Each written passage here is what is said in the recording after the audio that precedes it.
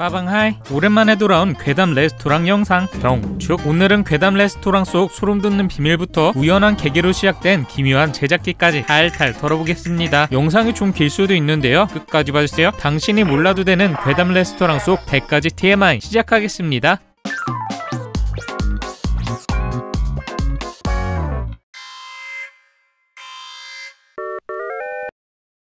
그 시절 우리들을 벌벌 떨게 만들었던 두 애니메이션 학교 괴담 그리고 괴담 레스토랑. 학교 괴담이 핵불닭 볶음면이라면 괴담 레스토랑은 불닭 까르보나라이죠. 이 그림체 차이 좀 보세요. 그래도 학교 괴담은 유령들 봉인하고 나면 마음이 조금 후련하지만요. 괴담 레스토랑은 뒷맛이 영 찜찜한 게 후유증은 더 심했습니다. 옴니버스이다 보니 너무 짧게 짧게 끝났기 때문인데요. 미스터리하게 급하게 끝맺음하는 에피소드가 대부분 무서워지려고만 하면 급브레이크를 밟아버리는데 이게 또 맛도류이죠. 여운이랑 후유증이 더욱 심했다는 그렇다고 무서운 이야기만 있던 것은 아닙니다. 레스토랑이라는 표제에 걸맞게 에피타이저, main dish, 디저트가 포함된 3단계 코스 요리 컨셉도 인기에 한몫했죠. 에피타이저는 비교적 훈훈한 비일상적 이야기, main dish는 세계 각국의 유명한 전설 이야기, 디저트는 짧은 도시괴담 위주로 지루할 틈 없는 전개가 코스 요리 같은 다채로운 느낌을 줬습니다. 이게 괴담 레스토랑의 강점입니다. 학교 괴담이 준성인층을 겨냥한 극강의 무서움이라면 여기는 감동적이거나 재미있는 에피소드도 있어서 전 연령층이 부담없이 시청할 수 있었던 거죠. 시즌 1로 끝나버려서 그런지 우리나라에서만 인기 있던 거 아니야? 하는 사람이 많은데요. 나름 준수한 시청률을 기록하며 히트한 작품입니다. 일본에서도 황금 시간대에 방영하며 5에서 7%의 준수한 시청률을 냈고요. 우리나라에서도 마찬가지로 투니버스 황금기에 문을 닫고 나간 작품이죠. 원작도 엄청납니다. 동명의 원작 동화인 괴담 레스토랑이 시리즈 누적 700만 부가 넘는 베스트셀러이기 때문인데요. 원작 동화는 무려 50권이나 출간되었다는 사실 그래서 시즌1로 끝난 게 더더욱 아쉽죠. 많은 히트작이 그렇듯 제작기도 정말 흥미롭습니다. 1967년 출간한 아기 그림책 없어 없어 까꿍 모모와 아카네 짱 시리즈 등 통합 천만 부 이상의 판매를 기록하며 일본 최고의 그림책 작가 반열에 오른 마스타니 미였고 아동문학을 대표하는 작가이자 설화연구가였던 그녀는 끊임없는 히트작을 발표했습니다. 1956년 이후로 오랜 시간 동안 꾸준히 민화를 연구해 일본의 도시전설과 현대 요괴담을 저술하기에 이르렀죠. 이후 오랜 시간 협업해온 출판사와 함께 괴담 소설 집필 진행이 결정. 이는 곧 괴담 레스토랑의 기반이 되었다는. 이렇듯 괴담 레스토랑이 스테디셀러 아동 도서가 될 수 있었던 것은 마츠타니 미요코 작가의 엄청난 노력 덕분도 있지만요. 그림 작가의 노고도 빼놓을 수 없습니다. 1994년 자비 출판으로 네코 달만의 Fantastic World를 출간한 타카의 요시카츠 작가. 마치 마네키네코와 달마를 합체시킨 듯한 귀여운 주인공과 하나같이 개성 넘치는 등장인물들의 이야기는 어린아이들의 이목을 이끌 며 소소한 흥행을 하죠. 이후 여러 그림책을 그려가며 스펙트럼을 넓혀가던 작가 뜻밖의 전화 한 통을 받게 됩니다. 난데없이 공포소설의 그림을 그려달라는 도쿄의 한 출판사 평소 자신만의 독특한 작화를 지향했던 작가는 공포소설 속 삽화와는 거리가 멀다고 느껴 제안을 거절하죠. 하지만 무서운 듯하면서도 귀엽게 그려도 된다는 이야기에 제안을 받아들입니다. 그로부터 며칠 뒤 괴담 레스토랑의 원고가 도착하고 어린이를 위한 괴담집이니만큼 자신의 특기를 살려보려고 했습니다만 이게 뭔 일? 예상과는 너무 다른 스토리 구성 등장인물이 어린아이부터 학생, 어른, 노인은 물론 옛날 사람, 외국 사람, 현대 사람들까지 총출동했으니까요. 아무리 자칭 10년차 일러스트레이터라 해도 인물을 그려본 적이 전무했던 작가 몇 날 며칠 잠도 포기한 채 인물을 그리는 연습을 시작 전 세계의 괴담집을 섭렵, 독학하며 준비 과정을 거칩니다. 짜자잔 이게 바로 괴담 레스토랑의 초안입니다. 평소 작가가 자신이 써하던 유령 형태의 캐릭터를 표지에 내세웠고요. 나머지 캐릭터들도 자신만의 스타일을 고스란히 살렸죠. 이후 1권의 표지 디자인을 구상해내기 위해 어렸을 적 귀신의 집이라고 불렸던 동네 폐허를 찾아간 타카의 요시카츠 작가 오래된 콘크리트하며 망가진 괴종시계, 흑백 아기 사진 등 무척이나 겁이 났지만 영감을 얻기 위해 이곳저곳 돌아다녔죠. 바로 그때 무언가 반짝거림을 느낀 작가 급히 카메라를 꺼내 셔터를 누르며 도망치듯 뛰어나옵니다. 그리고 다음날 무언가 찍혀있으면 보내주세요라는 문자와 함께 출판사 YC에게 사진 현상을 맡기기로 결정. 하지만 쓰레기로 가득한 폐허의 모습만 있었을 뿐 딱히 유령이라고 할 만한 형체는 없었다고 합니다. 이게 바로 촬영한 사진을 바탕으로 그린 일러스트입니다. 겁에 질린 표정하며 여기저기 숨어있는 유령들까지 디테일 대박이죠. 이건 다 운명인데요. 그림 작가님은 글 작가님의 러브콜로 합류했기 때문 당시 글 작가의 사설 도서관에 방문한 출판 담당자 낄낄거리며 웃는 초등학생 남자아이를 발견합니다. 도대체 뭘 보길래 저렇게 재밌게 읽는 건지 남자아이에게 그림책의 제목을 묻습니다. 네코달만의 판타 Fantastic World라 독특한 제목의 이 그림책 이후 두 사람은 함께 그림책을 읽어나가게 되고 이 책의 작가에게 괴담 레스토랑의 그림을 부탁하기로 한 겁니다. 이렇듯 원작은 베스트셀러에 애니메이션도 최고 시청률 7%에 매니아층이 탄탄했는데요. 분명 2기도 준비되어 있었습니다. 하지만 어째서인지 애니메이션은 23화를 끝으로 영원히 끝나버렸죠. 그렇다면 도대체 2기가 왜 취소된 걸까요? 시청률이 안 나와서 2기를 제작하다가 회사가 망해서 이런 썰이 많은데요. 이런 이유 때문은 아닙니다. 괴담 레스토랑의 제작사는 무려 드래곤볼, 디지몬, 원피스 등을 제작한 토에이 애니메이션이기 때문 하지만 오히려 이렇게 큰 회사이기 때문에 제작이 취소된 것은 맞습니다. 토에이 같은 유명 제작사는 시청률보다는 다양한 미디어 믹스와 굿즈로 수익을 창출하는데요. 괴담 레스토랑의 굿즈 판매량은 말잇못 또한 주된 시청층이 구매력이 낮은 초등학생 위주인데다가 땜빵 편성으로 굿즈도 준비하지 못한 채 방영해서 매출이 매우 낮았다는 게 주 원인이죠. 아니 그래도 그렇지 원작 동화가 무려 50권씩이나 발행되었고 소재도 무궁무진한데 그냥 시즌제로 편성하면 되는 거 아니야? no no 2기 편성을 시원하게 날려먹은 사건이 하나 있었습니다. 바로 실사화 일본 실사화의 마수 괴담 레스토랑도 피해가지 못했습니다. 이걸 진짜로 만들어버리고야만 제작진 패기 좋게 마지막화 방영 시기에 맞춰 홍보도 하고 개봉했는데 실사판이 있었는지 아는 사람도 없을 정도로 폭망했죠. 제작비도 회수하지 못했다는 우픈 사연. 그도 그럴만한 게 실사화 퀄리티가 최악인데요. 주인공 3인방과는 관련 없는 중학생 탐정들이 나오고 요. 귀신들 실사 버전 퀄리티도 참 한숨만 나옵니다. 공포도 아니고 코믹도 아니고 불쾌한 골짜기. 특히 가르송 비주얼은 꿈에 나올 거 무섭네요. 괴담 레스토랑의 이야기를 이끌어가는 3인방 머리부터 발끝까지 특이한 패션의 포리 미스터리한 분위기에 비밀이 많은 퇴마사인 줄 알았더니 그냥 괴담 덕후였던 세영이 귀신 따윈 없다고 우겨대는 엄친 딸 가연이까지 세 사람의 케미가 은근 폭발했죠. 이 매력적인 주인공들을 싹 다 빼버리니 영화가 흥행할 수 있나요? 먼저 주인공 보리는 공포 애니 의 주인공답게 온갖 수모를 다 겪습니다. 아파서 입원을 했을 때에는 죽은 아이와 엮이는 바람에 황천길 건널 뻔했고요. 동물에 빙의 돼서 여기저기 뛰어다니기도 했고요. 한밤중에 자다가 늑대에게 잡아먹힐 뻔하질 않나. 육교위에서 카아줌마의 현란한 드리블 견제에 가쁜 저승여행까지 다녀왔다는 와? 하지만 이건 약과입니다. 무서운 학교 편에서는 도깨비들의 요리가 될 뻔했다는 사실 마을의 지도를 다시 그리는 작업을 하기 위해 현장 학습을 나온 볼이 풀숲을 헤치고 한참을 걸어서 도착한 이곳에는 한 학교 가 있었는데요. 이런 곳에 웬 학교지? 하며 당황하던 순간 순식간에 정체불명의 아이들로 둘러싸여버리고 말았죠. 이후 아이들은 계속해서 보리에게 학교에 같이 가자고 조르는 바람에 어쩔 수 없이 학교로 발걸음을 옮기게 됩니다. 아니나 다를까 그곳엔 한 덩치 큰 남자가 열심히 칼을 갈고 있었고 고기를 손질하겠다며 보리를 붙잡으라고 으름장을 놓습니다. 잡히면 큰일 난다는 생각에 무작정 전속력으로 도망친 보리는 발을 헛디뎌 가시나무 아래로 굴러떨어지는데요. 도깨비들이 모르고 지나가길 숨죽이 며 숨어있는데 바로 발각 한참 입맛을 다시더니 무슨 이유 때문인지 아쉽다며 그냥 돌아가죠. 알고 보니 가시나무에는 사악한 것을 쫓는 퇴마 효과가 있었다고 만약 가시나무로 넘어지지 않았다면 어떻게 됐을까요? 소름 이렇듯 보리가 다사다난을 맡고 있다면 세영이는 미스터리함을 담당하고 있습니다. 심령 얘기만 나오면 안광부터 싹 변하죠. 오컬트나 유령, 괴담의 환장에서 전 세계의 괴담책을 탈탈 외우고 다닙니다. 겉으로만 봤을 때는 금발의 훈훈한 외모라 친구들이 많을 것 같지만 노 no, no. 얘랑 돌아다니기만 하면 평범한 사람도 사망 플래그가 떠버리니 주변에 사람이 안 남은 거라는 썰이 그래도 병만 주진 않습니다. 가끔 약도 주는 서인남인데요. 세영이 덕분에 목숨을 건진 적도 많고요. 14화 인명기 편에서는 보리가 몸을 뺏길 뻔한 위험천만한 상황이었지만 세영이의 하드캐리로 위기를 벗어나는 데 성공했다는 사실 세영이의 떡밥들은 아직까지 풀리지 않는 미스터리로 남아있습니다. 부모님은 뭐하는 사람들인지 한행시에 오기 전에는 뭐하고 다닌 건지 훗날 보리와의 관계는 어떻게 되었을지 이기 제작이 무산되면서 떡밥도 묻혀버리고 말았죠. 마지막으로 미친 존재감 가연이 얘는 무슨 맨날 하는 대사가 너희들이 걱정돼서 여기까지 따라왔어인데요. 레스토랑에서도 담력 훈련을 할 때에도 그냥 뒤를 몰래 밟은 거면서 내색 일도 안 하는 이 뻔뻔함. 사실 가연이가 두 사람을 따라다녔던 데에는 슬픈 과거가 숨겨져 있습니다. 3년 전 바닷가로 놀러간 가연이네 가족. 이후 가연이와 재밌게 놀던 오빠는 안경을 맡기고 수영하러 가는데요. 깜빡 잠이 든 사이에 오빠는 행방불명이 되어버렸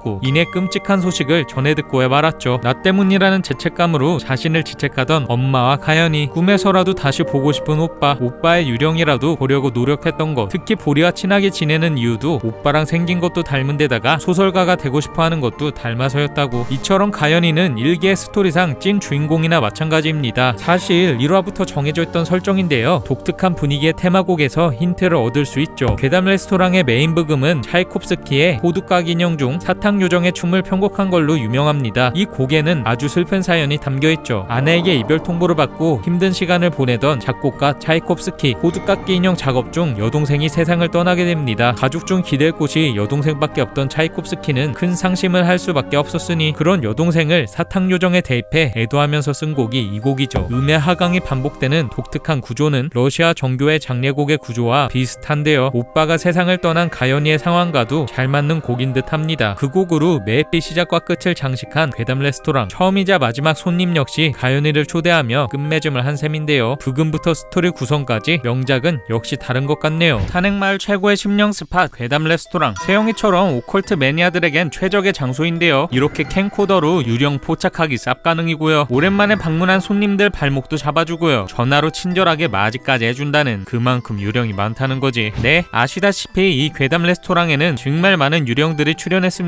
먼저 레스토랑의 메인 요리사 외눈 셰프를 시작으로 네 다리 내놔를 외치며 돌아다니는 웨이트리스, 처녀 귀신, 메뉴판을 태워 먹어버린 도깨비불, 나이가 어린 견습생 카파, 태엽 할머니 인형, 산만한 등체의 염라대왕 등 각 화마다 등장한 유령들 보는 재미도 쏠쏠했죠. 그리고 대망의 가르송, 레스토랑의 지배인답게 검은색 나비 넥타이를 착용한 모습, 항상 젠틀하고 서윗한 말투가 참 인상적인 캐릭터인데요. 유령치고는 꽤나 코믹한 모습을 많이 보여줘서 그런지 어두운 공포 애니메이션의 분위기를 코믹스럽게 전환시켜주는 역할을 하고 있죠. 빠방이들은 가르송이 초를 들고 있는 이유에 대해 알고 계신가요? 별다른 의미가 없어 보이지만요. 여기에는 소름 돋는 괴담이 숨겨져 있습니다. 주인공 3인방 모두 결말에는 세상을 떠난다는 괴담. 마지막 장면에서 3인방이 모여서 하는 이 의식을 하쿠모노 가탈이라고 합니다. 촛불 100개 의식이라고도 불리죠. 하는 방법은 이와 같습니다. 먼저 한밤중에 초 99개를 켜놓고 둘러앉습니다. 그리고 무서운 이야기를 하나씩 할 때마다 초를 하나씩 끄면 되는데요. 99개의 초가 다 꺼지면 청 행등이라는 귀신이 100번째 초를 들고 나타난다고 하죠. 청행등은 같이 둘러앉아 100번째 이야기를 해준 뒤 이야기가 다 끝나면 마지막 이야기를 하나이 혹은 참여한 모두를 죽음에 몰아넣는다고 전해져 내려옵니다. 우리는 여기서 가르송을 자세히 살펴볼 필요가 있습니다. 불도 밝게 켜져 있는 레스토랑에서 굳이 촛불을 들고 있는 가르송 다 이유가 있던 거죠. 마지막 회에 아이들이 99번째 이야기를 다 끝내고 나면 가르송이 다가와 100번째 이야기를 하고 이야기가 끝나면 결국 모두 세상을 떠나는 걸로 결말을 추측할 수 있습니다. 초를 왜 들고 있나 별 생각 없었는데 곰곰이 생각해보니 소름이네요. 이외에도 여러 대형 떡밥이 풀리지 않은 상태입니다. 먼저 가연이의 친오빠라는 썰 가르송이 오빠 그 자체이기 때문에 첫 손님을 가연이로 받은 데다가 통화하게 해준 것이다. 엔딩곡에서 가르송이 미친 듯 춤을 추는 장면은 바다에 빠져 힘들어하는 모습이다. 결국 쓰러져서 물에 떠밀려온 것은 세상을 떠나고 만 것이다. 그 모래사장은 오빠와 가연이가 생전에 놀러 갔던 곳이다. 등의 내용을 토대로 유추해보면 오빠인 게 확실하다는 거죠. 둘째, 가르송이 보리의 아 빠라는 썰. 사실 1기에서 끝나버려서 가연이가 주인공인 것처럼 돼버렸지만 2기에서는 본격적으로 보리와 가르송의 이야기가 풀릴 예정이었습니다. 엔딩곡 시작 시점에서 모자를 잃어버린 보리. 후반부에는 물에 떠밀려온 가르송이 모자를 찾아줍니다. 분명 처음 본 사람이라면 놀라야 할 상황에 보리는 편안하게 미소를 짓고 있는 게 이상하죠. 마지막 회에서는 해변가에서 뜬금없이 가르송이 그 모자를 쓰고 있는데요. 보리는 기억을 잃었는지 엔딩곡의 장면을 어렴풋이 회상하며 놀랍니다. 엔딩곡 가사에 관련된 힌트가 있는데요. 가르송이 언급하길 바다는 저승과 세상을 이어주는 곳입니다. 이곳에서 이 둘은 만남과 이별을 반복했고 가르송은 보리를 지키기 위해 저승 가는 길을 잃은 채 이승에 남았다는 거죠. 작중 보리가 가르송 휴대폰 고리를 하고 있는 것도 이에 대한 복선으로 볼 수 있습니다. 가르송이 100살 이상인 걸 감안했을 때 현재 진행형은 아닐 테고 전생에 무슨 관계가 있었음은 확실해 보입니다. 그렇다면 이 둘은 무슨 사이일까요? 애니가 1기에서 끝나서 나오지는 않았지만 원작에서의 가르송은 아내와 딸을 잃고 홀로 세상을 떠난 중년의 유 령입니다. 보리는 전생의 가르송의 아내 혹은 딸일 수 있다는 거죠. 나름 그럴듯한데요. 오피셜로 밝힌 적은 없으니 그 진실은 제작진만 알고 있을 것 같습니다. 물론 회수되지 않았지만 각종 떡밥에 소름 돋는 스토리에 지루할 틈 없이 몰아붙였던 괴담 레스토랑 일본에서 더 열광했던 이유가 있습니다. 바로 실화 기반 스토리가 많다는 것. 먼저 에피타이저로 레스토랑의 직원 공주 키키의 이야기부터 소개하겠습니다. 귀여운 외모와는 달리 알고 보면 일본 괴담 특집의 한 획을 긋던 유령이죠. 전해져 내려오는 이야기는 이렇습니다. 1918년 삿포로에서 열린 박람회에서 당시 17세였던 한 소녀는 여동생 키쿠코를 위해 이쁘장하게 생긴 단발머리 인형을 사줬는데요. 키쿠코도 오빠의 마음을 아는 건지 자신의 이름을 딴 기꾸라는 이름을 지어주고는 마치 자신의 여동생처럼 대하며 애정을 쏟았다고 합니다. 그러나 이듬해 1월 24일 급성 폐렴으로 인해 세상을 떠나고만 키쿠코 막내딸을 일찍이 떠나보낸 가족들은 깊은 슬픔에 빠져 지냈는데요. 하루가 다르게 딸의 유골 앞에 서서 명복을 빌었죠. 그러던 어느 날 가족들은 무언가 달라졌음을 깨닫습니다. 분명히 인형의 머리는 단발머리 정도의 길이었는데 어느새부터인가 머리가 어깨에 걸릴 정도로 길어져 있던 것. 이후 가족들은 키쿠코의 영혼이 옮겨갔다며 확신한 채 단발머리 인형을 만년사에 맡깁니다. 7년의 세월이 흐른 어느 날 동생의 유골이 안치되어 있는 만년사를 다시 찾아온 오빠. 인형의 머리카락은 무려 허리까지 길게 자라나 있었다고 하죠. 실제 일본의 홋카이도 만년사에 안치된 이 키쿠 인형은 50여 년 동안 많은 사람들에게 참배를 받고 있습니다. 워낙 많은 썰이 있지만 과학적으로 설명되지 않은 무언가 가 있는 걸까요? 두 번째 실화 기반 스토리인 행방불명 에피소드 한 신사에서 신나게 게임을 하고 있는 혁규와 재진이 재진이는 먹던 음료수 병을 신목에 던지는데요. 그 순간 갑자기 빛이 번쩍 재진이는 어디론가 사라집니다. 시간은 어느덧 저녁 행방불명된 재진이를 찾기 위해 경찰은 물론 온 반 아이들이 모였죠. 그 시각 신사에서 깨어난 재진이 반 아이들을 향해 애타게 불러보지만 아이들은 듣지도 보지도 못합니다. 낙담한 재진이는 그대로 주저앉는데요. 그때 신사에서 귀신 목소리가 들려옵니다. 여기서 벗어나 고 싶다면 깨끗이 청소를 하라고 말이죠. 재진이는 그때부터 열심히 신사 청소를 합니다. 그리고 다음날 또다시 신사를 찾은 아이들은 나무에 기대어 있는 재진이를 발견하는데요. 결국 무사히 돌아오는 것으로 이야기는 마무리됩니다. 이렇듯 애니메이션에서는 해피엔딩으로 끝이 났지만요. 현실은 그렇지 않습니다. 1998년 5월 3일 노리코 씨의 가족은 아카기 신사로 꽃구경을 하러 갑니다. 얼마 지나지 않아 맑던 하늘에서 갑자기 비가 쏟아지는데요. 가족들은 꽃구경은커녕 차에서 비가 그치길 기다렸다고 하죠. 그러던 중 주부인 노리코 씨가 돈을 놓고 오겠다며 신사로 향했는데요. 그게 노리코 씨의 마지막 모습이었다고 합니다. 당시 이 사건은 일본 전역을 강타했습니다. 7개월간 대규모 수사를 했지만 단서 하나 찾지 못했는데요. 가장 이상한 점은 당시 신사엔 사람이 바글바글했지만 목격자가 없는 점으로 주차장과 신사의 거리는 겨우 50m. 그녀가 사라진 시간 단 6분. 그리고 길도 잘 포장되어 있어 헤맬 만한 곳도 아니었다고 하죠. 아이도 아닌 성인 여성이 그렇게 감쪽같이 사라질 만한 장소가 아니었던 겁니다. 더 소름 돋는 건 이 지역은 노 부부 행방불명, 아이 행방불명 등 비슷한 사건 및 전설로 유명한 곳이었다는 것. 일본은 우리나라와 달리 이런 신사가 정말 많습니다. 작은 신사까지 합치면 전국에 무려 30만 개에 달한다고 하죠. 신사는 정말 신을 기리는 경우도 있지만 학교 괴담처럼 악령을 봉인하는 장소이기도 합니다. 온갖 악령들까지 신사를 만들어서 달래다 보니 섬기는 신과 귀신이 800만이 넘는다고 하네요. 때문에 신사는 가장 많은 귀신의 출몰 장소이기도 하며 행방불명 사건이 많이 일어나는 곳이기도 하죠. 세 번째 실화 기반 스토리인 키키모라 인형 에피소드. 학예회 때 인형극을 한다며 키키모라 인형을 만들게 된 아이들. 먼저 철사로 만든 몸통에다 하얀 천을 씌운 뒤 닭 모양 장식품을 올린 뒤 스카프로 묶어주면 준비 완료. 하지만 오컬트 매니아 세영이가 이를 가만히 지켜볼 리가 없죠. 인형의 다리만 있다면 살아 움직인다나 뭐라나 또다시 사망 플래그를 띄웁니다. 곧바로 실행에 옮기는 우리의 가연이 인형의 숨을 불어넣기 시작하는데요. 그 순간 불길한 바람이 불어오고 키키모라 인형에게 완전히 혼을 뺏긴 가연이는 막무가내로 공격을 합니다. 절체절명의 순간 보리는 손에 쥔 리코더로 키키모라 인형에 깃든 숨을 바꿔놓는 데 성공하며 상황은 마무리되죠. 애니에서는 동글동글 귀엽게 묘사되었지만요. 실제로는 긴 부리에 새 형상을 한 무시무시한 비주얼의 키키모라. 키키모라는 러시아의 민화 속 여성의 형상을 띠는 정령으로 허수아비를 뜻하는 키케메르케에서 유래됐는데요. 평범한 가정집에서 정착하여 집을 떠나기 싫어하는 존재로 집안이 평안하면 닭과 아이들을 돌봐주고 평안하지 않다면 밤마다 악몽으로 괴롭힌다고 하죠. 또한 키키모라가 한밤중 실을 짜며